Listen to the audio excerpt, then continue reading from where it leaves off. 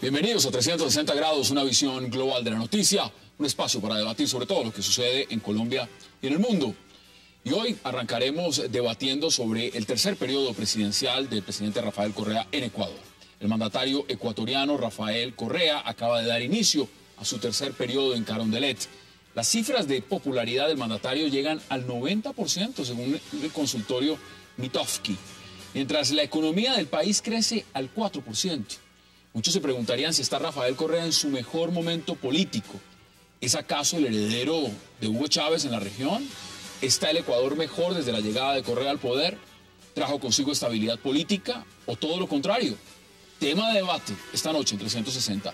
Y hablaremos también en su segundo bloque de la salida por la puerta de atrás de una de las figuras públicas más importantes del chavismo, Mario Silva, después de revelarse una grabación en la cual el reconocido presentador de la Hojilla TV confesaba los secretos más íntimos del gobierno chavista a un general del G2 cubano, su salida del aire fue inminente. De inmediato, la oposición venezolana celebró el golpe mediático, mientras la Fiscalía General de Venezuela abrió investigación preliminar para determinar la veracidad del audio y mucho más. ¿Puso la oposición en jaque al chavismo? ¿Es la división entre Diosdado y Maduro inminente? Tema de debate en 360. Y también hablaremos del macabro asesinato de un soldado británico en las calles de Londres a mano de fanáticos musulmanes. El gobierno de Reino Unido ha defendido a los servicios secretos, pero ha aceptado abrir una investigación sobre el seguimiento de Michael Abolajo y Michael Abowale, los dos islamistas acusados del asesinato a machetazos del soldado Lee Rigby el miércoles en Woolwich, al sudeste de Londres. ¿Fue esto un acto de terrorismo? ¿Se darán actos de venganza en contra de musulmanes en Reino Unido? ¿Son estos los efectos colaterales de la intervención de Reino Unido en Irak y Afganistán? Lo debatiremos con sus invitados esta noche en 360, 360 con agenda internacional. Y no se muevan, que ya en segundos le damos la bienvenida a nuestros invitados.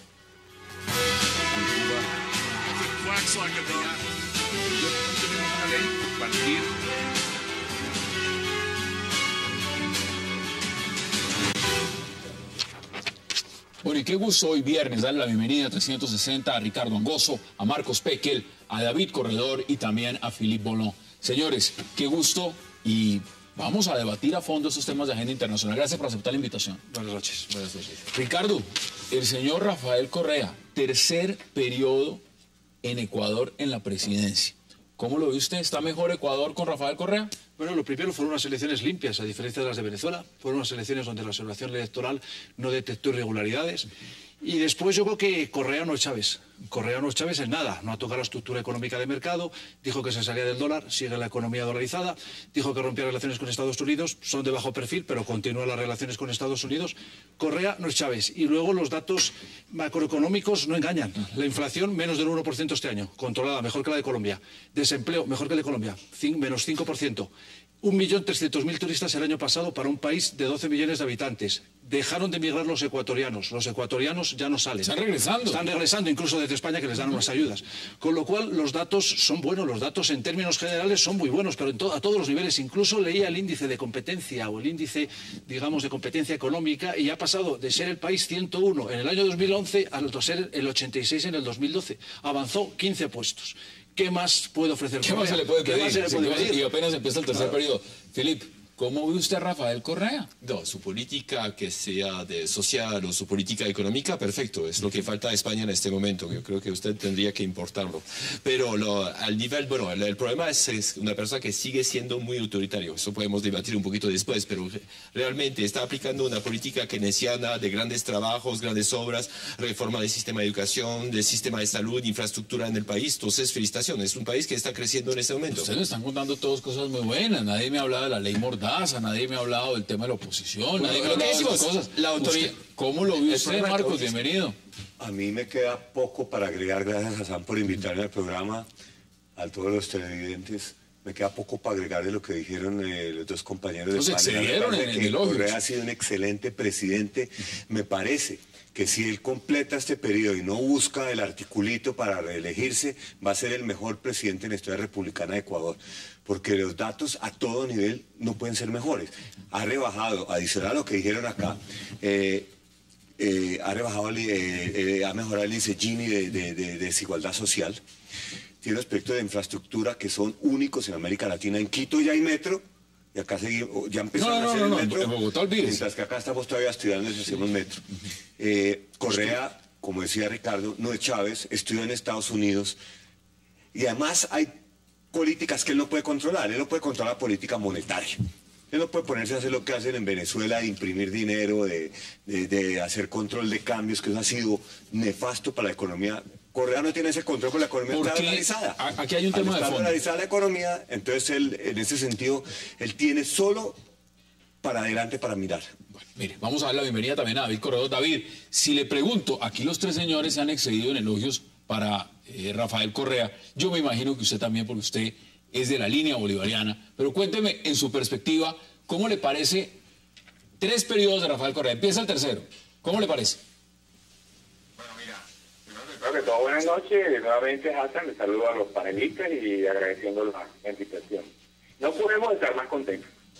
Es decir, si bien es cierto, eh, el presidente Correa, este, el expositor allí, este, ha sido, ha tenido una formación en Estados Unidos, evidentemente de la línea chavista, bolivariana, socialista que ahora, con toda esta eh, eh, fortaleza que le rodea en tantos aspectos, en la economía, en lo social, pero también es algo muy importante que, que hay que destacarlo en la parte ideológica. Eh, acabó de terminar en Cali, por ejemplo, la reunión de la cuenca del Pacífico. Y Ecuador tiene cuenta del Pacífico y nunca se ha interesado por participar en este club. El club al cual está adherido Ecuador, lo mismo que Bolivia, lo mismo que Venezuela, pues Nicaragua y Cuba es el Club del Agua, ¿sí? a la UNASUR, a la Argentina, es decir, está encaminado e incluso es una parte de su programa de gobierno en fortalecer esas relaciones de carácter internacional, pero dirigida o orientada a esta línea que es como expresión política contemporánea de mayor fuerza y, y absolutamente válida entre los procesos que están viviendo nuestra, nuestra región, Claro. que nos alegra, que por sí, pues, y le felicitamos y le deseamos lo mejor a- al presidente Correa para que continúe con éxito esta política, siendo él un experto en economía y, por supuesto, de la línea del socialismo y de la revolución bolivariana, más no dentro de lo que ha sido la obra del presidente Chávez, que él cumplió Bueno, una misión, ¿verdad? eso- Hasta la fecha de su Eso ya lo vamos, eso ya lo vamos a debatir. pero que Correa pues la está reivindicando desde el punto de vista económico. Ya lo vamos a debatir. Mire, quiero que veamos justamente qué dijo el presidente Rafael Correa el día de hoy en su posesión. De acuerdo al Índice de Desarrollo Humano de las Naciones Unidas, el último reporte 2012, en el periodo 2007-2012, coincidente con nuestro gobierno, entre 186 países, Ecuador es uno de los cuatro que más escaló posiciones en la clasificación mundial de desarrollo humano. Eso dice el presidente y usted lo mencionaba. Ahora, vamos a puntos también dentro de un macro más grande. Una cosa es Correa internamente, cómo ha manejado el país. Evidentemente la oposición dice, mire, esto es un dictado. Esto es un hombre que ha eh, puesto a la oposición contra la pared. Es un hombre que a los medios de comunicación los ha puesto contra la pared, los ha amedrentado. Es un hombre que en el contexto internacional también ha buscado aislar a la OEA, cerrar la relatoría de la libertad de expresión, buscar mecanismos mucho más eh, adjuntos a lo que pensaba Hugo Chávez, como fortalecer la CELAC, hacer contrapeso a lo que consideran el imperialismo de los Estados Unidos y demás. ¿Dónde queda ese pedazo de la historia? Yo creo que eh, Correa tiene tics autoritarios, pero no es un dictador. Después, con respecto a la OEA, la OEA está muerta desde el año 2009, crisis hondureña. O sea, la reacción tan hostil de la comunidad internacional con el caso de Honduras y cómo ahora ha dado la espalda en el caso de Venezuela y ni siquiera ha intervenido para denunciar un auténtico pucherazo como el que ha ocurrido en Venezuela. Hoy María Corino, que estaba en Chile, lo ha denunciado. América Latina, Estados Unidos, la OEA, la comunidad internacional en general, ha dado la espalda a lo que ha estado ocurriendo al proceso fraudulento de, de Venezuela. Bueno, pero como dice Rafael Correa fue el primero que salió a decir que, que felicitaba a Nicolás Maduro. Pues eh, son los tics autoritarios y el carácter este que tiene. Es un carácter, además, que yo creo que es una agresividad verbal y una retórica que muchas veces esa retórica no tiene nada que ver con lo que realmente luego después hace. Porque, por ejemplo, es un, es un presidente que ha sido muy tradicionalmente muy anti-norteamericano, pero eso luego no se ha traducido en el abandono de la dolarización. Tú vas a, Ecuador y siguen utilizando el dólar. Tampoco ha habido una ruptura de las relaciones con los Estados Unidos. Y yo, por ejemplo, he seguido algunas de las visitas de Correa al exterior y es muy distinto el discurso que dice Correa en Miami que donde ha estado o en España. Estuvo en España, se entrevistó con Rajoy, presidente de un partido, digamos, de centro derecha, el Partido Popular, y a mí me sorprendió la sintonía entre Rajoy y Correa. Fue una sintonía casi Entonces total es un en el hombre que está discurso. manejar su agenda internacional. Creo que es muy pragmático, y- creo que es muy pragmático. Hassan, a mí me parecen unas cosas más significativas de la Alianza del Pacífico. Y entre otras, la Alianza del Pacífico me parece el más importante cambio geopolítico en la región desde el ascenso de Chávez. El estatus de observador de Ecuador. Me parece que Ecuador ha- asumió el estatus de observador de la Alianza del Pacífico. Demuestra que, que- que Correa, el ALBA es un cadáver. Es un cadáver, porque es un cadáver o es un cadáver es sin un Chávez. cadáver para usar retórica contra el imperio y nada más. El ALBA sin Chávez, sin plata, sin el petróleo de Venezuela, es un cadáver, es un cascarón que no tiene nada adentro. Yo no creo que Correa quiera meterse ahí. Correa, como hemos dicho acá, es, es un gobernante muy inteligente, que sí tiene una pelea casada con la prensa, que sí tiene una pelea casada con la relatoría de la OEA, está bien. Pero Y con la Comisión Interamericana de Derechos Humanos Sí, también. exacto. La comisión es, eh, la comisión es la relatoría, es parte de la comisión. Y mire, una cosa significativa de que parece que al- hay que hacer leña del árbol caído. Hace unos días la, la- la comisión mandó a la corte el tema de Radio Caracas Televisión. Varios años después. O sea que todo se está cayendo con el ALBA y con Maduro y con lo que está pasando en Venezuela. Lo que sí creo que puede ser un referente de izquierda, no sé si tú piensas lo mismo, Marcos. Mire. Correa puede convertirse en un referente de izquierdas aún sin liderar. Hablemoslo un poco más amplio. Un referente de izquierda, o como, o, o- o como lo plantean algunos, eh, después de la muerte de Hugo Chávez, se han surgido la pregunta evidente si hay un liderazgo, un, alguien que haya heredado el matiz de Hugo Chávez regionalmente. Evidentemente muchos se cuestionan si Nicolás Maduro, Diosdado Cabello, los demás son, o si geopolíticamente en la región hay alguien que pueda liderar el ALBA y si es, por ejemplo, el señor Rafael Correa, o impulsar una política, como dice también David Corredor, eh, un poco de tinte más socialista en la región. ¿Usted cree que Rafael Correa es el heredero de Chávez? No, no, es un heredero socialista, pero no de Chávez. Es decir, que los dos son iluminados. Es lo que me molesta en Corea. Es una persona muy dictatorial en su manera de ser, justamente con las ONGs, porque él, él- él sabe que tiene razón. Entonces, en este momento, los datos muestran que tiene razón, su política está funcionando. El día que no va a funcionar, no sé cómo van a actuar, y eso es un peligro, porque no acepta ninguna oposición, no acepta justamente que la gente esté en contra de lo que dice, eso puede ser un problema.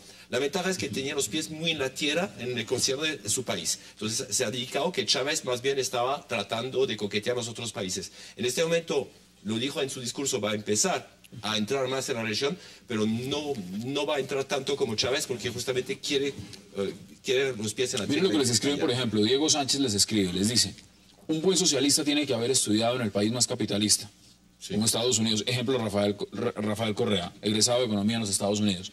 Sebastián Ramírez, en Ecuador no hay oposición, no hay medios de comunicación privados, es decir, todos son oficiales. Y hay un tema que vale la pena preguntarse, pero vamos a la pausa y al regreso también le quiero preguntar a David Corredor sobre el tema de si es o no Rafael Correa el heredero de Hugo Chávez. Ya regresamos.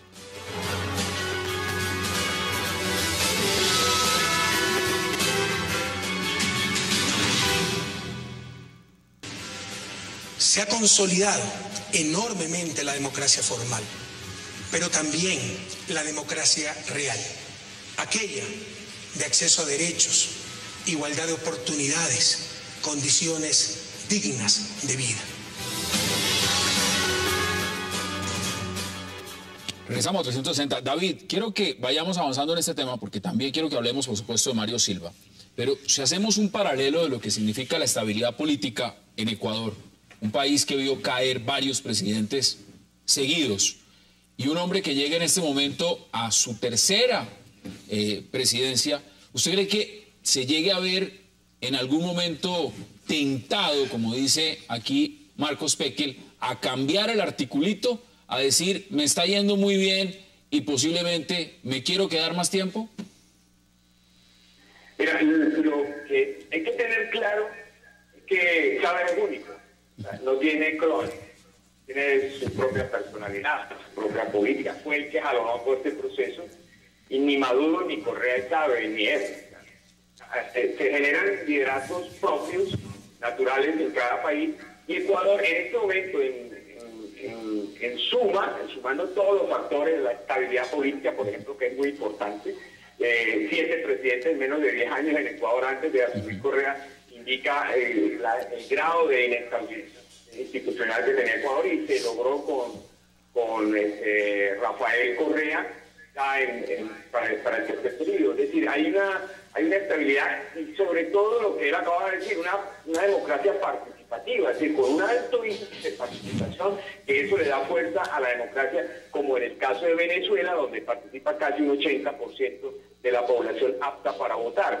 Entonces, eh, lo que sí es cierto y es claro, que ideológicamente eh, Rafael Correa está en la línea del socialismo bolivariano y está en la, en la línea de estos procesos ¿Ustedes están de acuerdo? Deme sus, de- sus conclusiones, Ricardo. ¿Usted está de acuerdo que está en la línea del socialismo Yo bolivariano? creo que es- hay grandísimas diferencias entre, entre Chávez y Correa. Me vuelvo al principio. Eh, Correa no es Chávez. No ha tocado, no ha intervenido en la empresa, ha dado confianza a los inversionistas extranjeros, no ha expropiado fincas como ha hecho Chávez.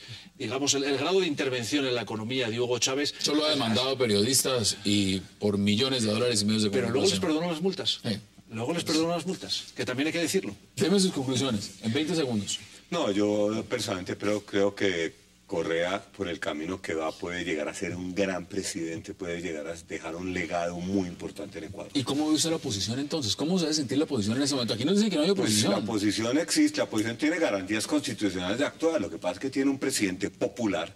No, mire, yo no sé si usted cree en las encuestas, pero lo que dice esta compañía es de- que la popularidad del presidente está en Sí, el por- 90%. Pero es que no tiene por qué ser distinto, Hassan. Si los datos y la economía va tan bien, la infraestructura está cambiando, hay carreteras, hay puertos, hay estabilidad macroeconómica, hay trabajo, se mejoró el coeficiente Gini, mejoró la educación, ¿por qué va a ser impopular? Claro, 90% igual es muy Y hubo oposición. Conclusiones, Sí, conclusiones, conclusiones es que eh, Ecuador necesita un caudillo, entonces eh, la libertad de prensa no le importa a nadie porque los sondeos muestran el 90% de la población. Entonces es un peligro, pero ahora el mal necesario parece que necesita eh, Ecuador.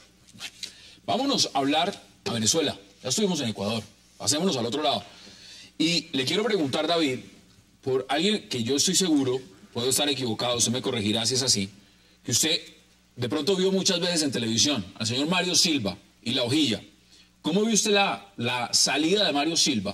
Y evidentemente se lo pregunto, ¿usted cree que esto es un montaje, como lo ha dicho él, o esos audios, esas revelaciones de esas conversaciones que él mismo se grabó con este general del G2 cubano, lo que nos están contando es la realidad de lo que pasa en Venezuela, y es que eso es un caos, que hay una profunda división dentro del chavismo. ¿Cómo ve usted esa perspectiva?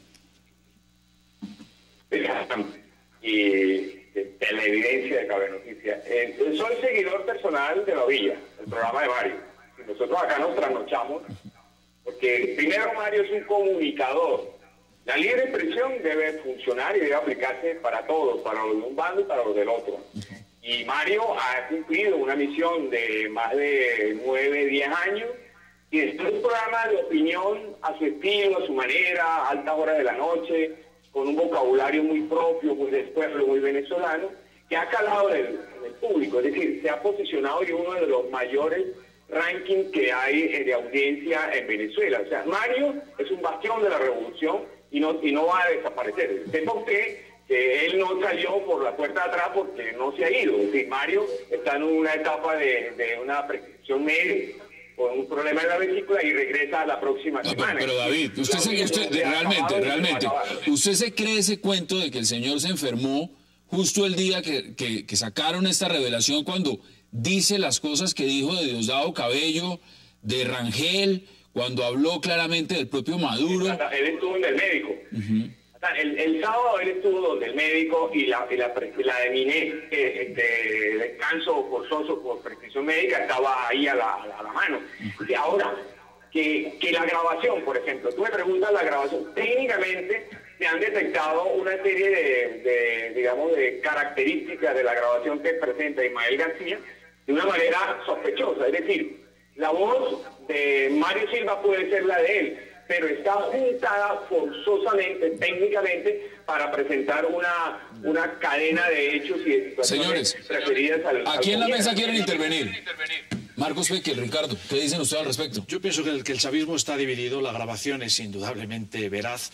El chavismo está dividido, pero es tanto lo que les une a los chavistas, es tanto el dinero que está en juego, que en el corto plazo no veo el peligro de que pierdan el poder. ¿Por qué digo eso? Control la distribución de alimentos, el control de cambio, el manejo de los cambios de divisas, el petróleo, la industria petrolera, las redes del narcotráfico nuevas que van a Centroamérica, a México. O sea, es tanto lo que les une, sobre todo hablando en términos de poder y de dinero, que ese es el, el mejor, cegamen- el mejor cemento que tiene ahora mismo el chavismo, es el dinero y el control de la industria petrolera. Allí estaba diciendo el propio Mario Silva que esto es el Mossad israelí y la CIA, que esto es un montaje, que lo hicieron muy bien.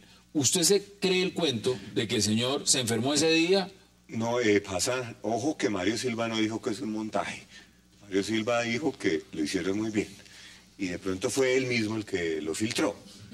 Eh, ¿Con qué descontento con el camino que está tomando el chavismo, pero pienso que la grabación muestra que es una, una situación en Venezuela que es un colapso completo de mano chavista. Estoy de acuerdo que se va a demorar en, en- en- En el en corto que se le la estocada final, porque tienen mucho dinero todavía.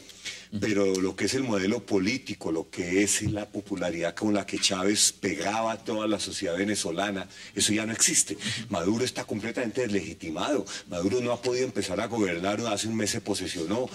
La Asamblea Nacional es un, es un circo donde la oposición no puede hablar. Ese señor denuncia en las grabaciones, mire, le atribuye todo lo que tiene que ver con corrupción de cabello, del manejo de conspiraciones del presidente Maduro, la falta, de- además de gobernabilidad, dice lo siguiente, Filip, dice que afirma que los temores de que esté siendo manipulado Maduro por su propia mujer, la exdiputada Silvia Flores, y que sea ella la que maneja Venezuela. Sí, es decir, es lo peor, es que hasta mataron a Chávez. Bueno, bueno. Pero no, no, pero yo, yo no sé si sea cierto o, o falso esas grabaciones, pero es realmente lo que piensa el pueblo.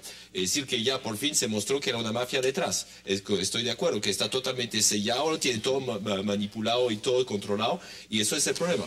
Y aquí están diciendo en voz alta lo que todo el mundo estaba pensando. Mire, veamos porque la fiscal en Venezuela justamente ya abrieron investigación sobre el tema, veamos qué dijeron desde la Fiscalía General. He instruido que se inicie la investigación por la presunta grabación de Mario Silva y fue comisionada la fiscal Gineira Rodríguez 21 NN. Esta investigación, muchos se preguntaban si realmente iba a llegar a algún, algún lado, o por el contrario, lo que iba a terminar siendo es una eh, investigación que termine perjudicando es a la oposición por haber revelado el audio. ¿Cómo ve usted eso, eh, en ese sentido, David? Mira, es claro, y, repito, técnicamente está probado a través de tres factores técnicos que eh, la grabación fue manipulada, es decir, no es una grabación real de una conversación, hay, hay una junta de partes de la grabación y hay un borrado técnico de los fondos eh, que toda grabación tiene, toda grabación tiene su medio ambiente que, capta pues el, aparato, el sistema de grabación, y eso fue borrado. Entonces, cuando tú manipulas la, la grabación, pierde legitimidad y pierde prueba, es decir, deja de ser una prueba válida para cualquier investigación. Ahora, que en la revolución hay contradicciones, hay disputas y demás, eso, eso no debe extrañarnos.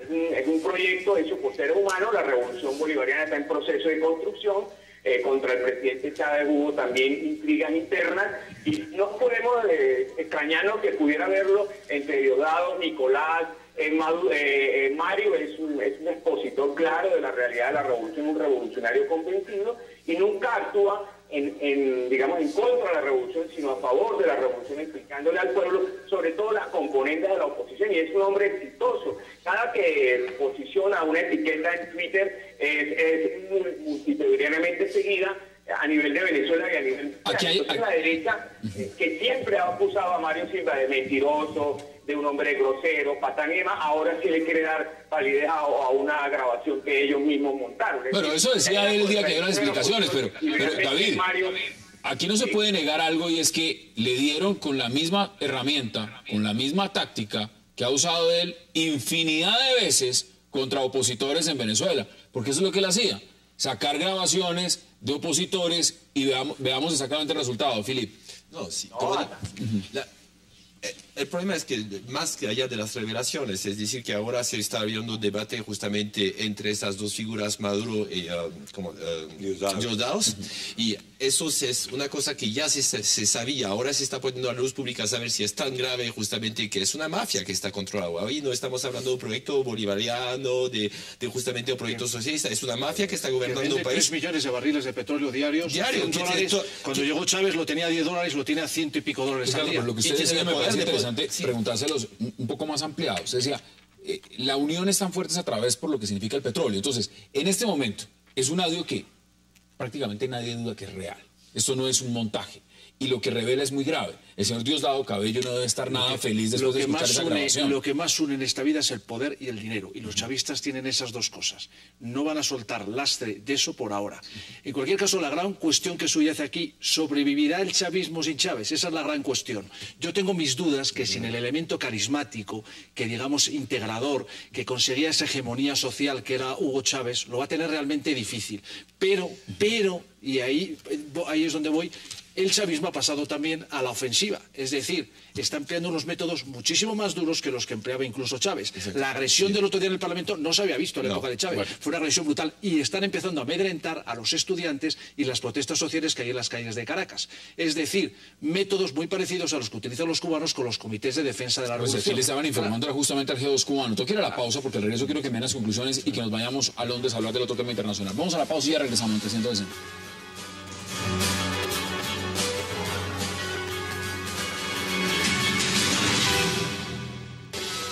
No le debo disculpas a nadie, porque no he hecho nada que no sea revolucionario. No le debo disculpas a nadie. Si yo estuviera de alguna manera haciéndole daño a la revolución, yo me aparto. Voy a ser el primero que lo haga. Pero ese bodrio montado, porque sé que es así, por Ismael García, tendrá sus consecuencias. Regresamos a 360. Eso suena amenaza. Eso suena amenaza. Tendrá sus consecuencias. Deme sus conclusiones, Marcos, sobre el tema de Mario Silva y lo que representa para el chavismo. Yo creo que van a pasar. Eh, Venezuela tiene por delante unos meses y unas semanas muy duras va a seguir la escasez, va a seguir la pelea política, va a seguir la comunidad internacional ya no dándole semejante aval tan, tan carta blanca a Maduro, van a empezar a tener un poco más de, distancia el gobierno Maduro. Eh, y pienso que lo que sirve para Venezuela no es nada fácil, pienso que los venezolanos tampoco. Demos conclusiones, Eli. Yo no había visto este video, pero parece que Mario Silva fue el mismo que mandó este video. Pero lo de... Entonces sí tiene la posibilidad de lo que dijo... Sí, sí, ya, ya, ya, viendo esto. No, no, no son meses, yo creo que son años difíciles que van a pasar. Y va a ser difícil, pero ah, en este momento es decir que está tan corrupto el sistema que no veo soluciones. Y tiene todo manipulado, no solamente el petróleo, los bancos, sistema de distribución, vemos esta semana ni quiere papel para llorar. Para, no, papel higiénico no hay, sí, no hay desabastecimiento. para libros tampoco, Ustedes, eh, las editoriales no tienen para imprimir libros de texto para los colegios. No, no hay nada. Entonces, Conclusiones, 20 segundos, porque yo, quiero ir también Yo creo que la clave es económica. Si el colapso del sistema de Venezuela en los próximos meses se acelera, la gente no se va a quedar, quedar callada. Pienso que, por otro lado, eh, en Venezuela el venezolano medio ha perdido el miedo. Creo que va a haber protestas. Si el desabastecimiento aumenta, la falta de papel higiénico, de alimentos, de pollo y demás, creo que los venezolanos pueden echarse a la calle. Y va a haber más represión. Sí, y luego no olvidemos que no es una isla como Cuba. Es decir, las protestas sociales y, digamos, la, influencia del exterior, el venezolano puede salir, creo que eso también va a ser un factor determinante que acelerará el proceso de, descomposición. Eso sí, no lo veo en el corto plazo. Yo creo que todavía estamos hablando de unos meses porque el proceso de descomposición económica de Venezuela es lento todavía. No están viendo los primeros indicios. Deme sus conclusiones en 30, 40 segundos. Mancosta en Cuba a la eh, ataques eh, contra la revolución en Venezuela de diversa manera de índole. Se piensa con el deseo. Venezuela es una democracia muy fuerte, es un ejemplo de democracia para el mundo. Hay más de 4 millones y medio de colombianos en Venezuela, si bien disfrutando de la revolución, más de 2.000 personas trascienden la frontera porque quieren irse a vivir a Venezuela por, por la forma como la economía se está desarrollando.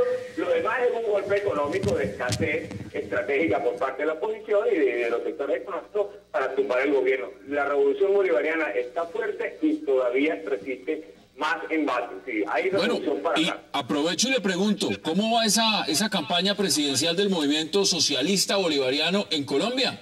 Cuénteme rápidamente. Nosotros estamos levantando la bandera del socialismo bolivariano en Colombia sin ningún poder electoral, ni ningún poder burocrático, ni poder de contrato con el Estado. Pero vamos, vamos a entrar a la Palacio Nariño y vamos a obtener la personalidad jurídica con representación en el Congreso de Colombia para mostrar cómo el socialismo bolivariano es, un, es pacífico, es transparente, es ético y trae cosas buenas para Colombia. ¿no? Bueno, usted sabe que en Colombia están hablando en este momento de una tercería para enfrentarse a Santos. Ahí, ahí está su partido.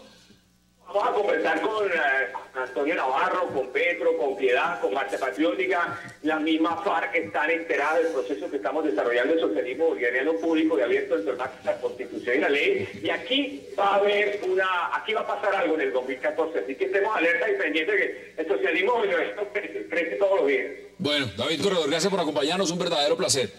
Señores, a usted. ahora nos vamos al otro lado, vamos a Reino Unido. Y antes de que empecemos a hablar del tema, veamos este video. Juramos a Alá, el Todopoderoso, que nunca dejaremos de combatirlos. Las únicas razones que tenemos para hacer esto es que mueren musulmanes todos los días. Este soldado británico es ojo por ojo y diente por diente. Pedimos disculpas a las mujeres que han tenido que ver esto, pero en nuestras tierras las mujeres tienen que ver lo mismo. Despidan a su gobierno, no se preocupen por ustedes. Las manos ensangrentadas mataron inmediatamente a machetazos a un soldado británico que sirvió en Afganistán. Marco, usted es un experto en el tema del Medio Oriente, es un académico también en el tema del Medio Oriente. Cuando uno ve estas imágenes, ve por supuesto también el discurso, la retórica y la argumentación que da este hombre nigeriano de las razones por las cuales asesinaron brutalmente a este soldado británico en esa calle en Londres. ¿Usted qué piensa? Mire, la, ideología es bastante fuerte, la ideología radical islamista es fuerte y, y- y puede funcionar de dos formas. Puede funcionar a través de una organización terrorista como Al-Qaeda o puede funcionar a través de personas que simplemente motivados por esa ideología y por un rencor fuertísimo van y cometen actos de estos. No sabemos aún, porque la investigación apenas está comenzando, si lo que pasó acá y lo que pasó en Boston son actos aislados de lo que se llama el lone wolf o son en verdad Lobo actos- solitario. Pero pasó en Exacto, Francia. solitario. Pasó en Francia, el mismo sistema pasó en Francia hace unos meses. Con, eh, claro, y además en la escuela donde mataron a, Igual, judíos. dos personas, Exacto. igual, sí, sí. Entonces estos, estos lone wolf, estos lobos solitarios parece que están empezando, podría ser que para matar a alguien usted necesita sin una persona, para poner una bomba en una olla a presión en una maratón necesita dos personas, que la ideología es lo suficientemente fuerte para que ellos solo se motiven para actuar. ¿Por qué? Porque hay un rencor contra Occidente, una culpabilidad a Occidente, porque han sido eh, lavado el cerebro de que Occidente es el culpable de todos los males de la sociedad islámica. Para, para mí son delincuentes, terroristas, porque justamente están listos para matar. las son- autoridades, son delincuentes. es- la- las autoridades británicas han dicho claro. que esto es un acto de terrorismo. Yo Es empezaría por- por ahí. es- es de ¿Ustedes lo ven como un acto No, de no, terrorismo? es de terrorismo porque justamente el tipo está listo a morir. Entonces, todos los parámetros de es un acto de terrorismo. Eso muestra una victoria de los servicios secretos. Es decir, que ahora ya no puede haber actos eh, súper montados como lo de Madrid o otros actos terroristas. Pero el problema es que tenemos esos delincuentes, para mí son delincuentes que justamente son A ver, pero una cosa es un delincuente, otra cosa es un terrorista. pero la- lobos solitarios, es decir, que están acorralados y están que- listos. Pero eh, son, son dos personas. En Francia fue dos personas justamente que decidieron hacer un acto mediático con cámara a bordo para filmar justamente las matanzas que hicieron, porque antes de la escuela había matado a Bueno, dos pero es que anteriores. decapitar a un soldado, lo que, lo que hicieron estos hombres... Pero esas es- imágenes no son nuevas, Hassan, porque si tú estudias lo que ha sido eh, la evolución de estos grupos islamistas tipo Hamas, Hezbollah, a mí me recuerda mucho este atentado, esta acción terrorista, lo que hacía el Frente Islámico de Salvación en Argelia. Degollaba monjas, sacerdotes, occidentales, todos los occidentales que contaba el Frente Islámico de Salvación en sus controles en los años 90, después del golpe del año 91. Ese fue el soldado, era- ese pero fue el era- soldado que fue asesinado a machetazos Sí, sí. en Londres, justamente ese muchacho. Eh, miren, evidentemente uno no puede, y no, no lo haría nadie, salir a justificar este tipo de actos, porque no tienen justificación alguna. Pero la pregunta que se hacen muchos expertos en el tema es si estos actos, en, los, en la argumentación que dan estos, estos, estos nigerianos de por qué cometieron estas actuaciones, es los abusos que han cometido las tropas de la OTAN no, en Afganistán antes. y en Irak. Y, y- y veámoslo en perspectiva, Filip. Cuando hablamos de la invasión a Irak, se calcula, según reportes de organizaciones serias, más de 800 mil civiles muertos. Es decir, hemos visto las imágenes de soldados de la OTAN orinando sobre cadáveres de talibanes. Hemos visto imágenes macabras de los campos eh, de tortura de todos esos prisioneros de Guantánamo y demás. Es anterior, yo Bueno, creo, bueno, entonces, Pienso que eh, es anterior. ¿es válido el argumento o no es válido el argumento Yo cuando dicen no- no eso es justifica lo que estamos Si- hablando? Si, si uno analiza lo que ha pasado en todos los países musulmanes desde la fundación del Estado de Israel, no olvidemos que siempre los palestinos están hablando de sus refugiados palestinos. En el mundo árabe vivían un millón de judíos. ¿Cuántos judíos quedan en el mundo árabe? Apenas unos centenares. Apenas unos centenares. Pero esa, esa hostilidad de ese Islam intolerante que ha crecido desde después de la creación del Estado de Israel, sobre todo en los años 40, 50 y 60, también ha sido contra los cristianos. Estamos viendo cómo las minorías cristianas en Egipto, en Marruecos y en, En otros Nigeria. países y en Nigeria son hostigadas permanentemente por ese Islam intolerante. Incluso, por ejemplo, la última comunidad, gran comunidad judía que quedaba en, en el mundo árabe, que era la que vivía en Marruecos, en los últimos años está, está yéndose literalmente hacia España, hacia Turquía, hacia otros países donde, digamos, se encuentran un marco mucho más tolerante. Hay un Islam intolerante que nace, que La- yo creo las que... religiones, mira, en Francia, regresando a Francia otra vez, esta semana se suicidó alguien en Notre Dame. Entonces, en acto Sí. contra el matrimonio escritor- gay. Entonces, un todos los de. Sí, escritor. Pero Entonces, en este momento, actos de terrorismo, eh, actos de, de, de reivindicación. No es hay- un argumento desde el punto de vista racional que alguien vaya y mate a un soldado de esa forma. No, por porque supuesto, no tiene no- no justificación. Pero para muchas personas educadas en el odio y en el fanatismo, el argumento es perfectamente lógico. Pero uno Ese argumento de, y él lo dijo, atut for atut, diente por diente, está sacando el código de Hammurabi. Mire lo, Sí, que, mire- válido. mire lo que dice Omar Barik Mohamed, autoexiliado líder de una eh, pues, organización terrorista. Dice, en el Islam esto se puede justificar. No tenía como blanco a civiles, fue contra un militar en operación. Para la gente de por aquí en Medio Oriente es un héroe por haberlo hecho. Hay perspectivas. Veamos también imágenes del video y declaraciones de la mujer que fue capaz de enfrentar a este hombre justamente después de haber cometido este crimen. Well, I saw a, a man on the road. Vi a uh, un hombre en la calle y un and carro a muy golpeado. Pensé que era un accidente. Me acerqué al accident. When I cuerpo y había una approached, mujer uh, que se dirigía a él the body, there y luego a al tipo, el que estaba más alterado de los And, dos. uh, Dijo, no se acerquen demasiado al "I cuerpo. Dije, está knife." bien, pero vi cerca el cuchillo del carnicero, un hacha que se usa para that cortar carne. to cut that? Yeah, um, that's what he had, and blood all over him. And I thought, what the heck, what happened there? Sí, él tenía sangre sobre él. Dijo, no lo toquen, and lo maté. Y le dije. ¿por qué? Respondió que era un said, "Don't soldado británico que había him." He matado said, a personas, "Why?" He said, a "British musulmanes, soldier. en países musulmanes people. y que nada tenía que hacer allí. ¿Qué dicen ustedes al respecto? Pues yo creo que hay una gran responsabilidad, en primer lugar, de los líderes religiosos musulmanes. O sea, ¿qué, qué se dice en las mezquitas? Que muchas veces muchos líderes religiosos inflan y propagan esos discursos radicales. Por ejemplo, en España hemos tenido el caso de un imán en Barcelona, que ha sido un caso muy conocido. Publicó este libro un señor, este señor, este señor, este imán, sobre cómo ser un buen musulmán. En ese libro defendía, un libro publicado y que se vendía en las librerías, el castigo físico a las mujeres. Hubo que presentarle una demanda y, pero eso es lo que él decía además en las mezquitas. Pero yo, por ejemplo, he estado en Jordania y una vez asistí a una mezquita. Yo iba con un traductor y le pregunté, digo, ¿qué está diciendo este hombre? Bueno, pues están todavía con ese discurso victimista que hay en el mundo árabe y en el Islam de que los occidentales somos los culpables de todo. Digo, bueno, señores, hace sesenta y tantos años que terminó, digamos, la colonización occidental en Jordania. Sí, pero, y en la mayor parte pero- del mundo pero, árabe. Ricardo, Pero también es cierto que no ha, victimismo. terminado, no ha terminado la guerra, la invasión en Irak. Ahí están. No ha terminado la intervención en Afganistán. Ahí están. No se puede negar que las bombas de la OTAN han caído ahí. No se puede negar que hay mercenarios británicos de organizaciones que han sido pagadas para ir y trabajar en Irak y han cometido todo tipo de atrocidades. Es decir, si se mira en la balanza, realmente esto es, un acto que no tiene justificación alguna. Pero no se puede pretender tampoco decir que lo que han hecho son unos locos desquiciados. Literalmente, estos actos de violencia, para, como usted lo dice, para ellos en algún sentido tienen justificación. Pero es un, ¿Cómo? terrorismo, es un terrorismo viejo, eh, No que, que- que- que se va mutando y adquiere nuevas formas, quizá a través de las redes sociales. Pero no olvidemos los atentados de los años 80 y 90 en Israel, los brutales atentados contra las pizzerías, los bares, los restaurantes, en los cuales eran atentados indiscriminados contra civiles o en, o en autobuses y justificando auténticas matanzas. Vamos a la pausa porque quiero que ustedes me puedan dar sus conclusiones sobre este tema. Hagamos la pausa en 360 y ya regresamos.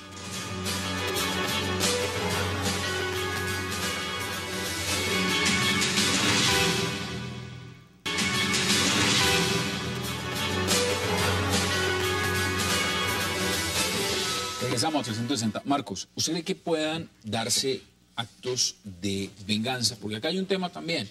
Hay una gran islamofobia. Por lo menos en Estados Unidos se ha dado. Y en Europa la hay. En este caso, cuando sucede un acto como este, ¿se puede generar aún más islamofobia? Claro que sí, no me queda duda al respecto, a pesar de las declaraciones y las buenas intenciones que tiene el gobierno y todo tipo de la sociedad civil, pienso que la islamofobia se da con este tipo de actos, se da en Estados Unidos. En Estados Unidos de septiembre 11 no se ha superado del todo la islamofobia. Pasa lo de Boston y vuelve y, y se recarga otra vez Además el tema de la tema del islamofobia. Islam ahí me- Sí. metido Y inmediatamente. la, la- la- la- la- el debate que hubo sobre la mezquita en zona cero creo que demostró parte de los peores demonios del tema. Y pienso que sí, que actos como este generan más islamofobia. Lo que está pasando en Estocolmo, por ejemplo, en Suecia, el país de la paz y toda la sociedad avanzada, tiene, también va a generar un, un efecto de islamofobia en los países nórdicos, si no me queda duda. Sí, ya estaban escupiendo en las mezquitas. Francia, que lo ha vivido de manera directa y donde Fran- más se siente también por la inmigración de todos los países de Magreb Sí, que han y, llegado. y Londres era distinto, es decir, que Francia la- la- se ha puesto zonas lejos de París donde podríamos todos los inmigrantes, que Londres justamente es una, ya, en- al norte de la Tamisa es una, es una región muy mixta, entonces eh, el problema aquí yo digo que es un problema que hay que cambiar totalmente la forma de, de trabajar de los servicios de información, porque como son lobos, yo creo que son lobos solitarios, es decir, que obviamente hay unos que están poniendo, eh, ¿cómo se llama?, fuego para, para lanzar esto, pero esos dos, como el caso de los dos en Francia, decidieron, imagino, por ellos mismos directamente de hacer esos atentados. Obviamente siempre van a buscar una justificación. Yo no creo que justamente es un acto de unos yihadistas que van a buscar una ide- ideología para, eh, ¿cómo se llama?, su autopromoción. Pero se, se comete también un grave error, y esto lo pregunto en un, en, un, en un tema un poco más amplio, es mezclar el Islam radical, lo que significa el Islam radical, o quien se va en una yihad, o quien se va en una intifada, con el musulmán cotidiano, no quien practica el Islam y sencillamente no es un, un islamista radical, se comete ese error también, porque el que te viene afectado detrás de un acto de estos es el musulmán co- corriente. Bueno, yo, creo- yo creo que la islamofobia ya está aquí. O sea, en todos los países de Europa ya hay partidos de extrema derecha que utilizan este discurso. Eso lo hemos visto en Noruega, en Suecia, en Finlandia, incluso Amanecer Dorado en Grecia, que ya tiene el 7% y que las últimas encuestas dicen que, que va a subir. Eh, des- desgraciadamente lo que ha ocurrido en el, mundo árabe, llegó a partir de los años 50, 60, que eh, todos esos eh, fenómenos o movimientos nacionalistas, progresistas, como podía ser el Baas de Siria, el Baas de Irak, lo que ocurrió en Egipto con Nasser, eran fenómenos modernizadores, fenómenos, digamos, laicos incluso, que intentaban modernizar sus países en aras, digamos, de una sociedad mejor. Esos modelos modernizadores han fracasado. Y en lugar de eso nos hemos encontrado que el integrismo reemplazó esos movimientos, lo que nos ha ocurrido en Egipto. ¿Quién ha reemplazado al régimen de, de Mubarak? El integrismo, los hermanos musulmanes. ¿Quién está reemplazando al, al modelo de, de Libia, al modelo de Gaddafi? También los integristas cada vez tienen más peso. Incluso en Túnez se está viendo en las calles. Es decir, estamos viendo un fenómeno en el mundo árabe que todos esos fenómenos que vimos en los años 50, 60, que eran fenómenos modernizadores, progresistas e incluso que se llamaban socialistas, como el Baas de Siria. Pero también. Dictatoriales, pues que han sido reemplazados han sido reemplazados por los islamistas. No olvidemos que ya en el año 91, hace 22 años, el Frente Islámico de Salvación ganó unas elecciones en Argelia. Y para evitar que llegara al poder hubo que dar un golpe de Estado apoyado por Occidente para evitar que los integristas gobernaran a 19 kilómetros de, de la península ibérica o a los... son más también el, el tema de fondo y es los servicios de inteligencia, lo ha dicho el eh, primer ministro David Cameron, que aquí hay que revisar claramente el manejo que se le está dando, eh, igual que sucede en Estados Unidos, a, a los controles de la inmigración. Están diciendo el tema de los inmigrantes, de cómo están Pero entrando no, a estos no era inmigrante, era ¿cómo se católico antes, además. ¿Cómo, cómo se Entonces, controla no, eso? es imposible. Yo creo que en este momento es imposible controlar esto, porque lo que lograron es, es justamente bajar esos grupos terroristas. Ya se puede decir que pasó el 90% ya desaparecieron. ya no hay redes grandes. No, pero en el Son- caso de Boston les habían advertido los rusos, les advirtieron de estos dos hermanos. Ellos tenían ya informes. Eh, Rusia les había mandado informes de sus servicios secretos que estos dos señores andaban metidos en redes yihadistas con- junto con su madre. Pero aparte, en vez de echarlos usted lo Estados Unidos, acá es un tema de fundamentalismo y muchas veces lo reciben es de... de- de- en vez de expulsarlos de. Estados Unidos les dieron unas becas y unas ayudas sociales. Pero usted si les está advirtiendo a Rusia que estos señores andan en, en redes yihadistas, habrá usted una Es que, investigación. es que lo que lo que dice Felipe es verdad. O sea, usted, eh, los servicios de inteligencia han sido muy efectivos en eh, hasta ahora, porque usted el terrorismo le gana hasta el siguiente atentado, pero han sido efectivos en neutralizar las grandes organizaciones y, y- y- y- y las organizaciones internacionales, pero al Lone Wolf, al lobo solitario, usted no puede poner semejante eh, control sobre la sociedad. Hay indicios y los indicios están apareciendo, pues están apareciendo a posteriori. Están apareciendo a posteriori en Francia, en el atentado de Toulouse, aparecieron a posteriori ya en Inglaterra, que estos señores ya tenían un prontuario, aparecieron con Boston, con estos señores chechenos, pero, Sí, pero no es suficiente, sí. o sea, usted, está metido. usted pues, tiene a los dos señores en un suburbio en, en cualquier ciudad en Occidente, ven las imágenes de Irak a las que usted hacía referencia y deciden por su ideología y porque se calientan que van a tomar venganza, cogen un cuchillo, matan a alguien, ¿ahí qué puede hacer un servicio de inteligencia? Absolutamente nada. Sí. Se, se lo ha puesto sobre el tapete. Deme sus conclusiones, Filipe. No, es, es- es la misma conclusión. Es decir, que en este momento hay que cambiar totalmente eh, la, la- este tratamiento de estas personas. No se, no se puede hacer nada. Sí, decir, la a de partir qué momento-. A partir de qué momento decidimos que esta persona es peligrosa, hay que encerrarla. Si no, ya lo rompimos todas las libertades individuales. Es un peligro. 20 segundos, concluye usted. El terrorismo se está mutando, como se mutó en su tiempo el, el narcotráfico, y creo que los servicios de seguridad, los servicios de inteligencia tendrán que cambiar su modus operandi. Parece, por ejemplo, que estos dos de Boston no estaban tan aislados, estaban en contacto con redes sociales, quizá un mayor control de redes sociales, de Facebook, de Twitter, de todas las páginas yihadistas en Internet, que también son un mundo. Es decir, los servicios secretos tendrán que estar atentos no solo a esas grandes organizaciones, sino a las nuevas redes sociales y a las nuevas formas en que se está mutando Pero este lo está terrorismo. haciendo, lo está haciendo. Servicio de información francés. Esperemos que personas que ha conmovido no solo a Reino Unido, sino al mundo, no vuelva a ocurrir.